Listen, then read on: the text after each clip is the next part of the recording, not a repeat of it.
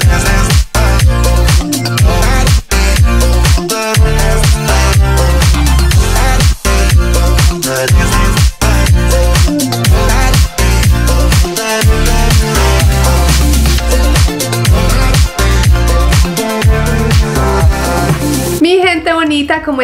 ¿Cómo se encuentran? Espero que la vida me los esté tratando de lo lindo, de lo lindo. El día de hoy ando un poquito agripada, así que si me ven por aquí moqueando ya entenderán por qué.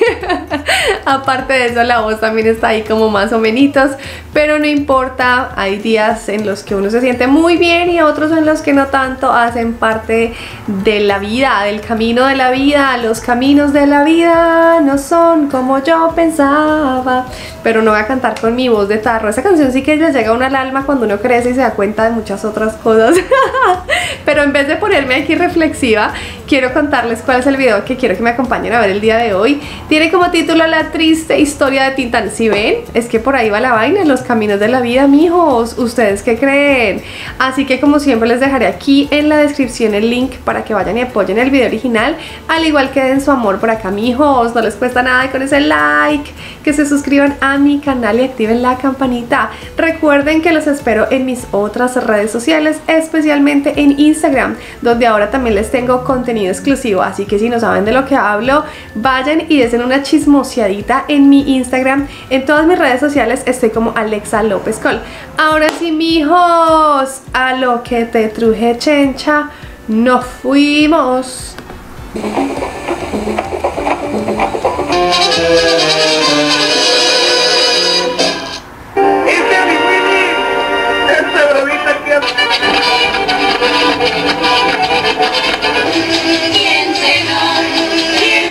Actores más importantes de la época de oro del cine mexicano. Un versátil cómico y cantante, actuaba y hasta doblaba películas. Le daba igual cine que teatro o radio, porque supo encarnar como nadie el espíritu de los pachucos, personajes parranderos, vagos y mujeriegos, pero que supo reconvertir en alegres, bondadosos y simpáticos. ¿Dónde estaba tú? Para muchos, el más completo cómico de México. Nacido bajo el nombre de Germán Genaro Cipriano Gómez Valdés Castillo. ¡Qué nombre tan largo! ¿Dónde estabas tú? Su padre trabajaba en la aduana y fue trasladado al puerto de Veracruz primero y después a Ciudad Juárez cuando el futuro Tintán era un adolescente. Tuvo ocho hermanos, entre ellos tres que también se dedicaron a la interpretación. Ramón Valdés, conocido por interpretar a Don Ramón en el programa del Chavo del Ocho. Ay, Don Ramón. Antonio Valdés Castillo, también cómico del programa Puro Loco. Yo soy Toñito Valdés, Y Manuel, el loco Valdés. Eso se lo debemos a nuestros managers, a nuestros papás. Nuestros papás fueron muy alegres. Ajá, eso me y fueron muy unidos. No sé si es porque hayamos sido más hermanos. Fuimos nueve en total, fuimos ocho hombres y una mujer. Nueve. Y no sé, esas uniones sirvieron para hacer fiestas y hacer, y ser, pues no sé, la sangre ya viene de los padres, yo creo, pues, eran muy relajientitos. Joviales. Y, y pues no, nosotros no hemos estudiado nada, entonces, pues yo no sé de dónde nos viene lo cómico, fíjate. ¡Qué bruto, focalicero! La vida de Valdés como Pachuco comenzó en la estación de radio La XEJ de Ciudad Juárez a los 19 años. Un día, mientras arreglaba los cables, el joven bromeando, pensando que nadie estaba escuchándolo, imitó al cantante mexicano de boleros Agustín Lara. Este gesto inocente impresionó a su jefe y fue el trampolín en la entrada de ah, Valdés en las ondas con el personaje de Topillo Tapas y en el programa de radio diario titulado El barco de la ilusión, Germán cantó e hizo imitaciones mezclando inglés y español, el ah, famoso Spanish. Pachuco proviene de Nahua, Pachoacan, que significa lugar donde se gobierna. ¿Dónde tú estás? En julio de 1943, la compañía de Paco Miller, un grupo de vodevil compuesto sobre todo por artistas mexicanos, invitó a Valdés a unirse a ellos en su gira por California y México. Valdés continuó desempeñando el papel de un pachuco, ahora acompañado por su carnal, hermano de otra madre, Marcelo Chávez. Última vez, Cuando el grupo llegó a la Ciudad de México, Paco Miller decidió cambiar el nombre artístico de Valdés. Miller tomó prestado el nombre de Tintán de Juan Muñoz Leiva, una estrella de radio chilena conocido como el niño de Tintán, porque concluía sus monólogos usando un vaso lleno de agua para producir el sonido Tintán. Con este nuevo nombre artístico, tomó casi por asalto la Ciudad de México. pierde el ancho mar su inmensidad.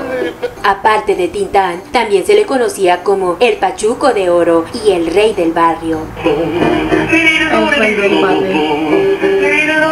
En 1938 lo promocionaban como el cómico que no se parece a nadie y en esa misma gira también participó nada más y nada menos que Mario Moreno Cantinflas. Al poco tiempo, Germán Valdés fue contratado para trabajar en la estación de radio XCW, el hogar de las celebridades más importantes de México, y que jugó un papel destacando en el lanzamiento al estrellato de muchos de los actores más famosos del país azteca. A los dos años, en la capital del país, Tintán ya consiguió el papel principal en la película El hijo desobediente en 1945. El largometraje comparte muchas de las técnicas y estrategias cinematográficas de la época, con una historia de amor y un caso de identidad confusa. Un hijo de Rodaciano rico tiene que ser como su padre, un hombre de campo. El uso coloquial del lenguaje, lleno de humor, permite al protagonista burlarse siempre de sus enemigos. Dale, pollito, está más suave. Sin embargo, el hijo desobediente es distinto en el uso del pachuco en la imitación del cantante. Su éxito se confirmó en 1949 cuando realizó una de sus películas más representativas, Calabacitas Tiernas. Que el espejo me hablara. Dime El Rey del Barrio en 1949 fue el film que lo catapultó definitivamente a la fama. Otro chorrito que salió de aquí. ¿Querer? Ahorita la tengo. Lanzó también a la fama a la comediante Vitola y al recordado Tuntum, así como al inolvidable Margarito. la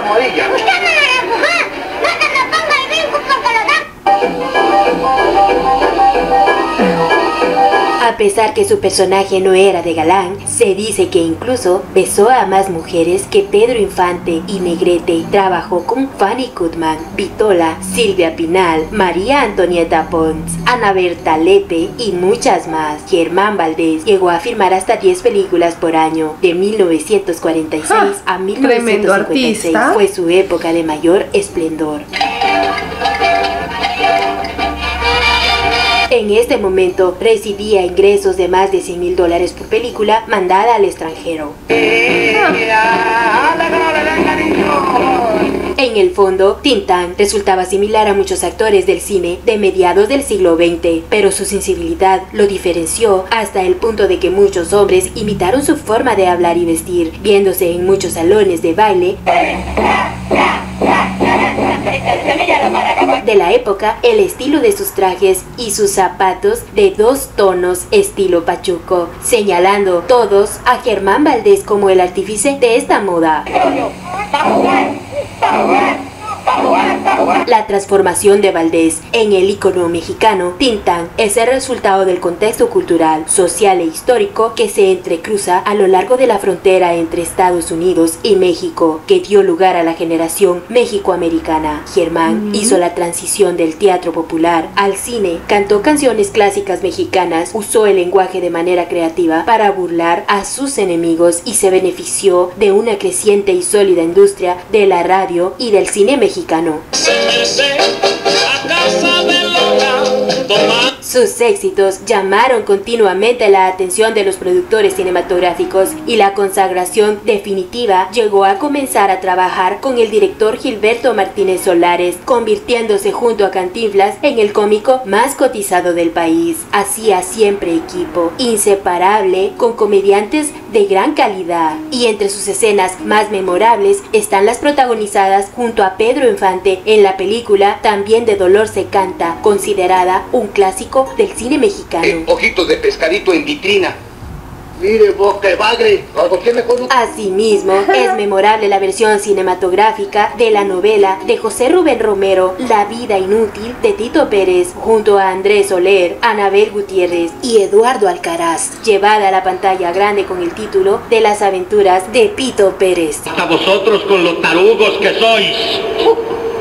En la época de los 70, el consagrado Tintán comenzó a sacrificar la calidad por la cantidad y sus actuaciones perdieron la frecuencia de la magia de sus inicios, llevándolo a caer cada vez más en papeles secundarios de películas de poca trascendencia. Sin embargo, en esos momentos se reinventó a sí mismo y destacó como doblador de cine en El oso de Baló, El libro de la Ay. selva o El gato o Malay en Los Aristogatos. Y olvídate de la preocupación. Me gusta disfrutar de mi libertad. Entre los lujos que se podía dar estaban viajes espontáneos a Europa, Cadillacs y fue dueño de tres yates. Los yates llevaron el nombre de Tita Beto y tuvieron un fin desafortunado. El primero lo chocó, el segundo se hundió y el Ah. tercero se quemó.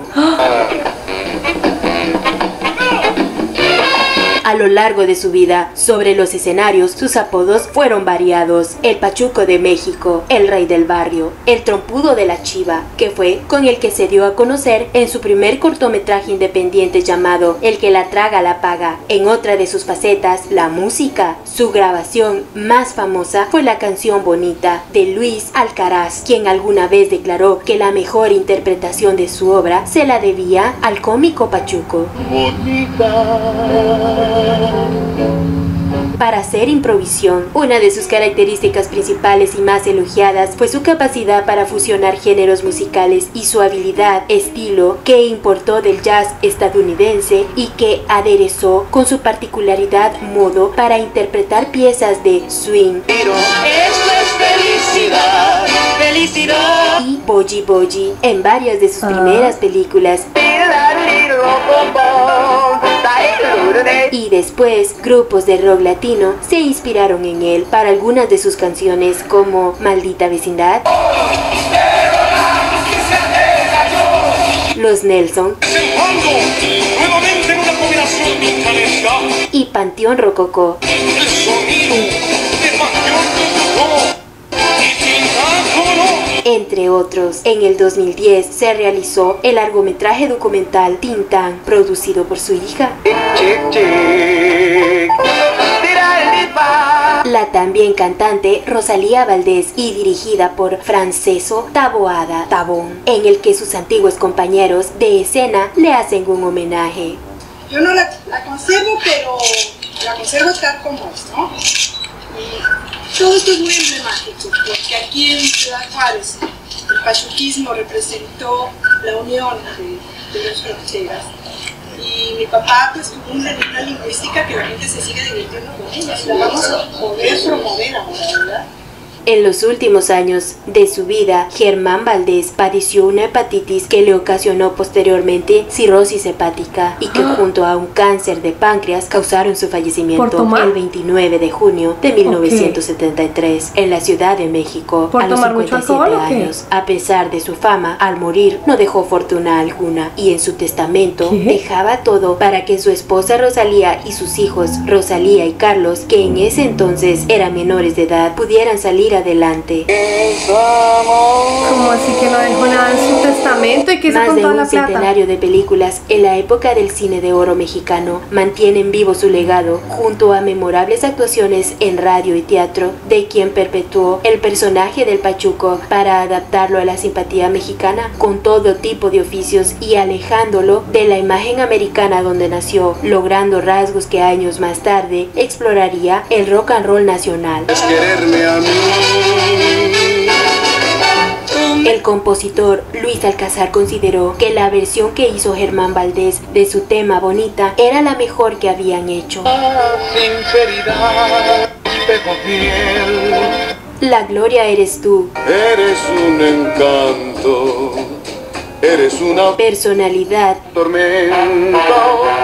Me vuelvo loco por y el pandero con el pan también se volvieron clásicos en su voz. A los portales y el que no sale se queda sin el pan para comer. Muy bien amigos, se despide de ustedes su amiga Jenny García y hasta aquí hemos llegado con un video más recordando a este gran ídolo del cine mexicano. Espero que el video haya sido de tu agrado y si el video les gustó, no olviden suscribirse a nuestro canal y dejarnos un like. No olvides activar la campanita. Hasta la próxima. Traigo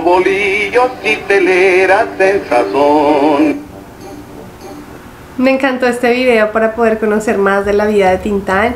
Ya sabía algunas cosas de él, gracias a ustedes fueron los que me introdujeron a- hacia él.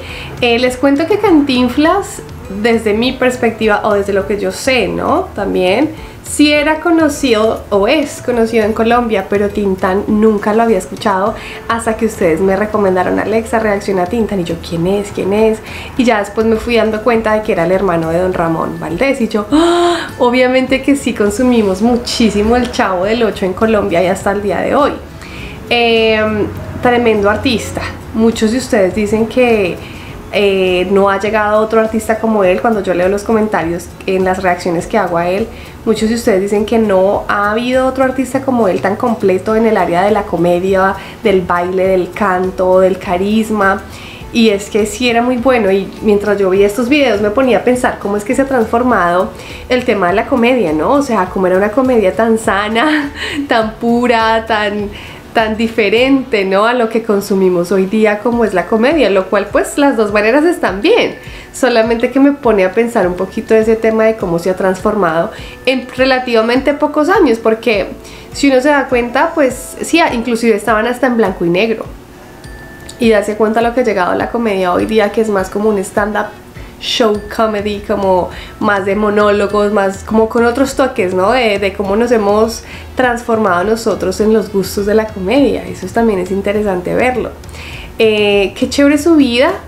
Eh, me imagino la cantidad de mujeres que ese hombre debería tener a su alrededor, porque Tintán, pues a mi modo de parecer personal, eh, eh, se veía muy atractivo versus, por ejemplo, Cantinflas. O sea, yo no estoy hablando del tema eh, del talento, ni de quién era mejor cantante, ni de quién era mejor actor, de quién era mejor comediante. No. Yo estoy hablando desde lo físico. Físicamente, a mi parecer, Tintán era mucho más atractivo físicamente que Cantinflas. ¿Ustedes qué opinan? Entonces yo me, me imagino, pues Cantinflas también tuvo muchas mujeres, pero me imagino yo cómo sería el tema de Tintán, de la cantidad de mujeres que le llovían alrededor, porque este hombre tan carismático, voz perfecta, actor, comediante y aparte de eso, pues todo el dinero que producía con las películas que hacía, ¿no? Lo que me pareció curioso fue lo que mencionaron ahí. La razón por la cual muere es por una enfermedad, por cirrosis, o sea que el man que le entraba durísimo al alcohol y por eso fue que resultó con esa enfermedad o qué pasó. Ustedes deben saber mejor el chisme, cuenten. y lo segundo, ¿cómo así que no dejó nada de herencia? Explíqueme cómo, si se, se hacía... Si se hacía 10 películas al año y por cada película le pagaban mínimo 100 mil dólares, estamos hablando de que bajito, bajito, solamente por las películas que hacía, se ganaba un millón de dólares al un millón de dólares al año en ese tiempo. Aparte de las otras cosas que hiciera ay no inventen. Cómo fue posible que no generara una estructura para producir más dinero no sé, tantos negocios que pudo haber tenido para que el dinero se siguiera produciendo. No me digan que se lo despilfarró, se lo comió, se lo megatió en cositas, como es la película de la Rosa. en fin, una película colombiana que no creo que la conozcan. Se llama La Vendedora de Rosas. Y no es posible que se haya gastado toda esa plata y no haya dejado a la familia, pero ni con nada. O sea, no, no inventen tampoco. Si ven los excesos de la vida. A mí con que me den un millón de dólares, yo lo administro y lo multiplico a la perfección. Solo necesito un millón de dólares. ¿Escuchaste universo? Solamente uno. Así que oigan, interesantísimo. Muy chévere su vida y pues no me pareció tan triste la historia. Creo que bueno, sí, obviamente nadie quiere morir de una enfermedad y todo, pero creo que sus años de vida se los gozó y se los gozó con toda. Venía una familia de nueve hermanos, donde muchos de ellos se dedicaban a la comedia. Así que el gen corría en la familia. Ustedes cuéntenme qué opinan de este video y también recuerden apoyarme en, oiga, mijos, no les cuesta nada y si me apoyan un montón. Lo único que tienen que hacer es dejar ese like, suscribirse a mi canal y activar la campanita. Recuerden que nos vemos en mis otras redes sociales. Ahora sí, mijos, mi frase favorita ha llegado. Mi corazón es mexicano, mi sangre colombiana. Nos vemos en un próximo video. Chaito, chaito.